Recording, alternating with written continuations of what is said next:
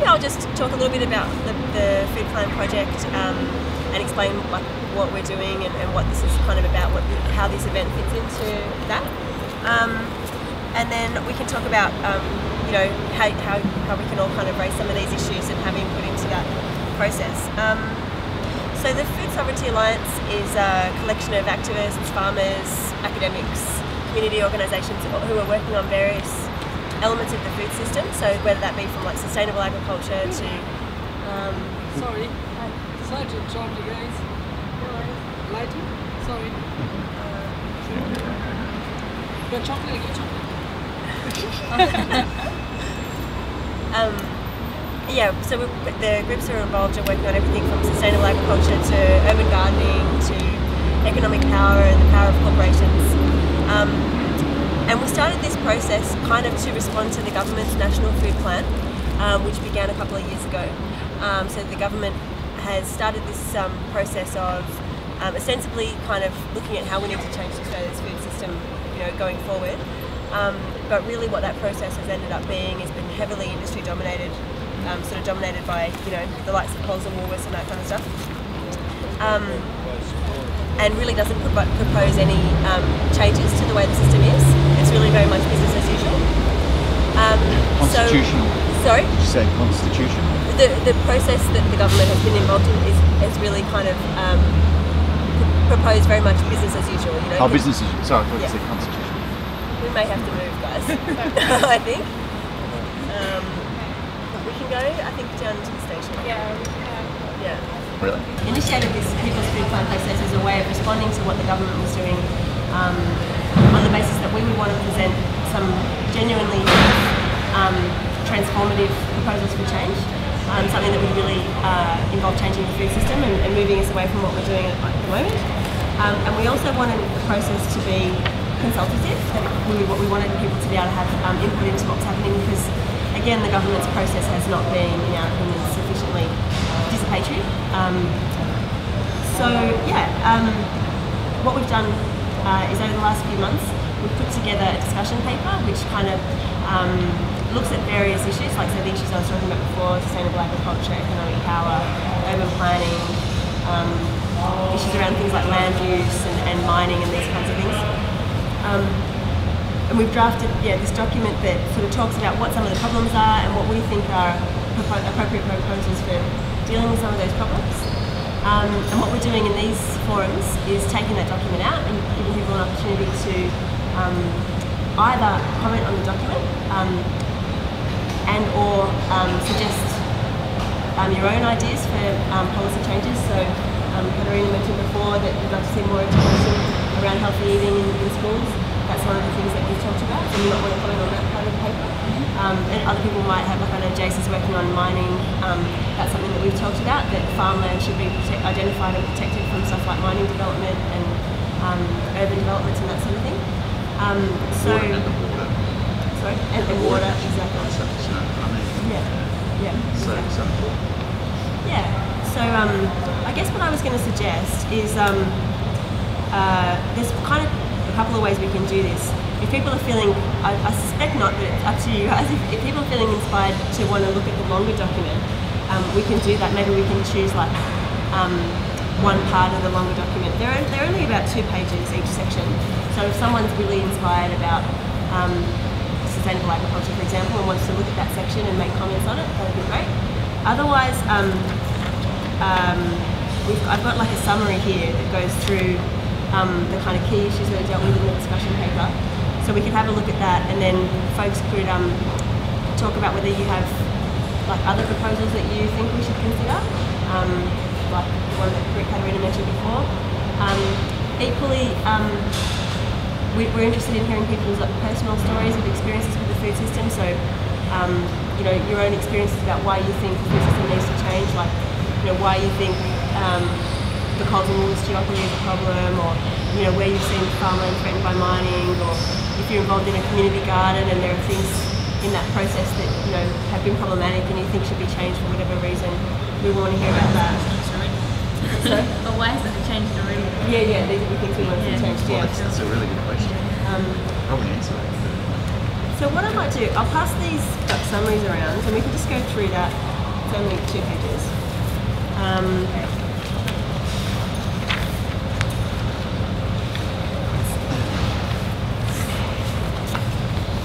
you need more? Two, three, Two more. three. That's it. All right, it's good. All good. All right. So um, Sorry, one more. One more? Well- Sorry, Liam. so the, um, the quote at the top is really great. It just kind of uh, it's just a really nice way of opening this discussion. I think, um, kind of pointing out that what happens in the food system doesn't matter to you if you're never going to eat again. But if you're planning to, you know, have breakfast, lunch, or dinner, this is something that we all need to be concerned about. I think that's kind of a nice way of reminding ourselves that this is all of our problem. You know, like it's up to it's up to all of us to participate in in uh, dealing with some of this stuff. Um, so then you'll see um, on like on both of the pages there are these headings, and those are the sections of the food plan. So there's a section on sustainable agriculture, there's a section on planning, um, economic power, healthy eating, food distribution, governance and democracy, and then fair trade. So um, are there any are there folks who are particularly keen to like perhaps look at that section of the um, of the document and kind of have a read through it and comment on it, or would people? So is, is, it online at all? It's I've got it. So, Yeah. So if you if you what, what I was going to say is yeah. um, if there are people who want to do that, um, you know, I think if people are happy with that, and you know, we can split up if people want to do different things. And how long do you reckon that would take? Uh, we can spend as long or as little as more people want on it, but like Yeah. I think probably the again this is kind of up to people to um, wh- whatever people want to do. Um, but one thing that um, we found that was helpful in the last workshop that I did was we broke up into groups of maybe we probably want maybe half of this, this size. Um, so maybe we would split up into two groups, um, and we can either um, look at a section of the document if there are enough people who want to do that, or we can just talk more broadly about what kinds of um, policy areas or ideas people are most concerned about, and you know have a bit of a chat about those and maybe make some proposals. Um, you know that people want want to put forward for um, for consideration. So, is there anyone who's particularly inspired about any of those sections that they'd really like to sort of dig into more? Um, yeah, I remember hearing this thing about when the Soviet Union collapsed. Uh, Cuba and uh, North Korea were both dependent on the Soviet Union for refining oil. And when they ran out of oil, then they, they couldn't sustain their industrial farming practices. And in Cuba, what happened is the authorities went, go find any patch of dirt you can and grow stuff, or you'll die. And uh, in North Korea, they thought they could just centrally plan the rations they had, like they thought they could with everything, and then people died. And so right now in Cuba, you've got some of the most advanced permaculture, localized farming systems in the world, if not the number one in the world. And so they're sort of like, sort of like, uh, you know, it makes me think about like, you know, the ultimate challenge to corporate power, the, you know, duopoly of Gulf and Woolworths would be to grow your own food. And I don't know how practical that would be, but, you know, there's got to be shit that can grow pretty much anywhere, right? Yeah, yeah. And it is very practical. I mean, you plant a sweet potato and it will take over. And you've got, I mean, in the Depression, like they did exactly the same thing in Australia. That you know, you can grow lots of potatoes in a small amount of area to feed a lot of people. Yeah. You can do the same thing with sweet potato, for example. And why don't we go back to, Yeah. why don't we, why are we doing that? Is We it should be. culture? We should be. I, I reckon we should be. Yeah. But, but Yeah. like it's it's so it's such a strange form of laziness because it's like everyone I meet is always you know bitching about their job like Yeah. I think it's not can use- lazy, it's more convenient, like everything's. We're a bit brainwashed. Yeah. It's, it's in Well, the, it's in the water. It's have- fluoride in the water. You've got to take it. Sorry, this is really. I know I know but we're getting fucked on every flank. Yeah. Yeah. I think as People well are being there's- distracted. Yeah. You know? Like our food eyes eyes being closed right, well, all right, fluoride all right, in then the that water. begs the question then. That begs the question that if it's a cultural thing, then maybe all this kind of like lobbying stuff isn't necessarily going to do much as much as some sort of cultural I- I way to like what I mean is like it, like is it not possible to make like a, a whole bunch of videos or some sort of art or whatever to inject into the, the, the cultural zeitgeist the idea of growing your own shit.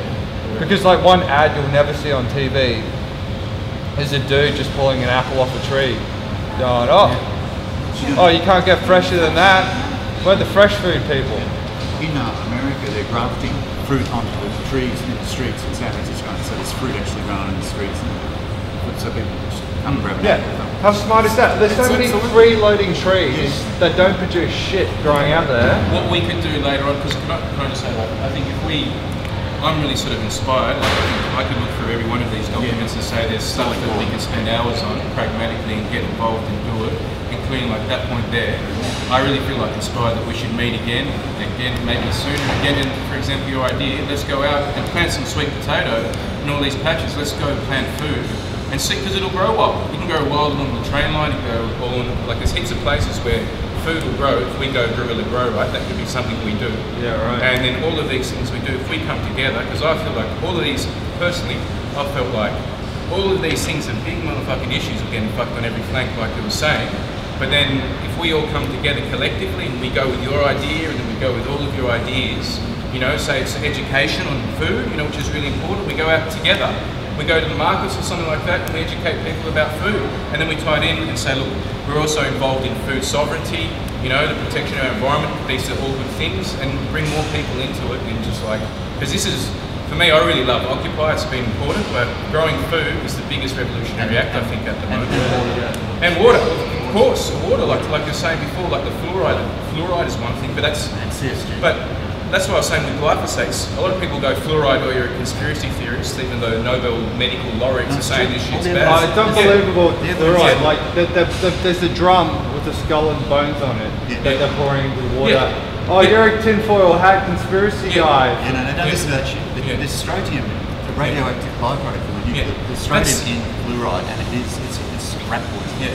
It's, Maybe- it's classified as rat poison. For sure, for sure. Rat poison. There you go. Maybe we can That's come again and, and deal with that issue as well. So I think like if we get a think tank on these issues on food security, food sovereignty, come back again, like we can sure we can flesh out. That's actually one of the things that um, one of the other things that we want to do before everybody goes this evening is um, get everyone's contact details who would like to keep in touch with the project and who is interested in working on stuff in the future because the idea of this is that it's the first step in the process to building a bigger movement. We need unity. We need unity. Mm. At all, at all times, we need unity. We've all, you know, if this is going to work, because everyone has to stick together. Like,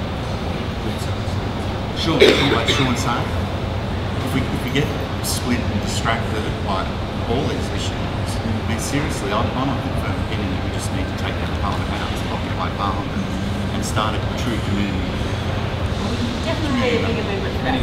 yeah, we definitely need a bigger movement. Yeah, that's totally All right, all right. What do we, what do we, So let, what let's do we think. now? Yeah, let's think about what's the most. Uh, my view is probably that it's a, not. We don't quite have the, the time that we need to go through the document unless there's something that someone's really inspired to look at. Um, one particular section of it I'm really interested in. Um, and I think, like as uh, is it Jared? Sorry, no, Sean. Sean. Shane. Um, was kind of pointing out that actually a lot of the issues people are concerned about cut across a lot of the sections, really, like from economic power to sustainable agriculture and so on.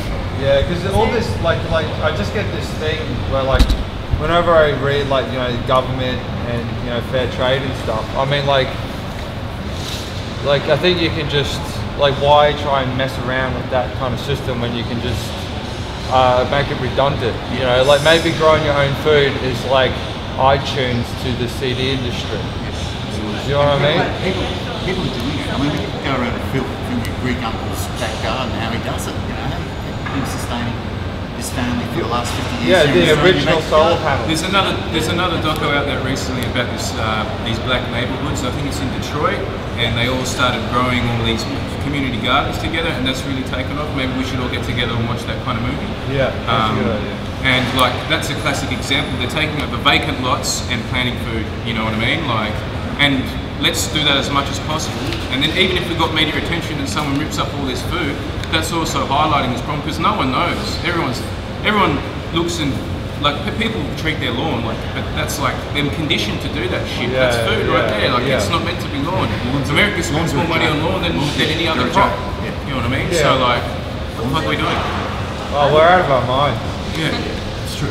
We So are. um, I I, like, I'm People hearing a lot of really great ideas, um, and it would be really great. The best, for for me, the best thing for us to be doing at the moment would be to capture them. I've got like a bunch of pieces of paper that um, I would kind of I'd ideally like you guys to kind of write some stuff down. Is that okay? Like, if you guys could, 'cause some of that stuff about like, you know, um, building networks to promote urban, urban gardening, like through, you know, showing these films and kind of um, going out and doing stuff. Like, yeah, but those are the kinds of things we would like people to kind of Make media contribute to the take look, independent journals like Independent Australia or the Independents. Um, Yeah. politicians that aren't corrupt, like I don't know, are there any? No. This is the problem. This is the problem. This is the big issue. It's the politicians and the corporations that are in this together. Not, it's not even that they're in it together. It's just human stupidity. Like it's just like we're a Stone Age animal, not built for civilization. Like like our monkey brain isn't designed for this train shit. Like that we're in right now. Like we're trying to run like Windows 7 on a Commodore 64. You know, it's not anyone's fault. It's just like shit. This is about going back to who we were. People used to actually grow their own food. They took pride in growing their own food. Uh, there- there's an intentional effort to hijack our, the control of our food, and it's like it's written in it's written in the World Health, Health Organization. I think what's the name for it? It's not the Codex Alimentarius. That's one of the things. But Monsanto bringing because today's International Occupy Monsanto Day, they have it on their website. Two thou- 20, 2020 is when they want to control the whole world's food supply. They're They've storing food stated now. that. They're storing food So- now. They're storing Those dudes are fucking Satan. And like they've stated they want to control food. They're doing it actively. They also own the world's biggest private military. This is what So they're not mucking around. This is what this is about.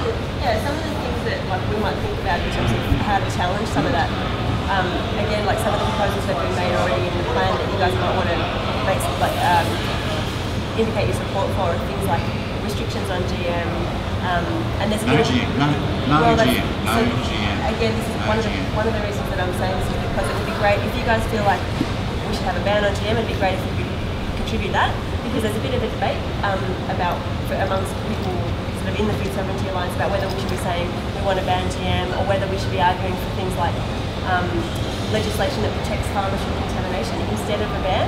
Um, so if you guys feel like a ban is the appropriate thing to be Yes. asking for, it'd be great to indicate that. Yeah, because No science in our food chain. yeah, I reckon we should. I reckon this will be a more fruitful discussion if we kind of maybe. Yeah, people feel like three groups would be good. Yeah, three groups. All right. So. Yeah. Okay. What? What? So what? what? What would you? What would you like to?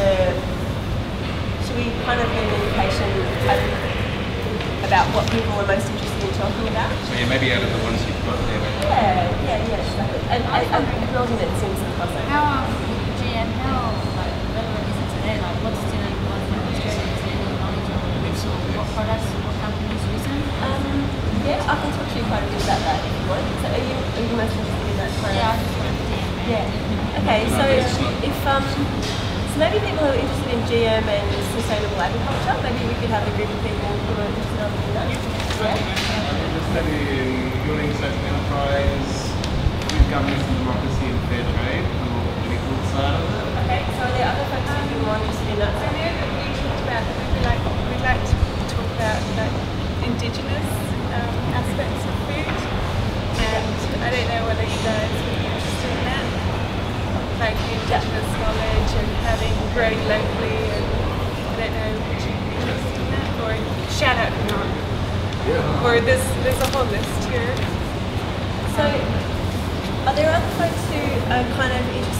um, question of social enterprise, fair trade, stuff like that? Me and Jace can talk about that by ourselves if you want. Do you, you guys kind of keen on the social? The, Can I, am I free to take this? Absolutely. Yeah, yeah, yeah. I got to split, but uh, I'll give you time, everyone. If you want, um, I'll give you a copy of the longer Are you guys having another thing about this soon? Um, I'm doing something like more or less the same workshop a couple more times. Like, but, like um, when? Uh, like, doing uh, one next Wednesday. Um,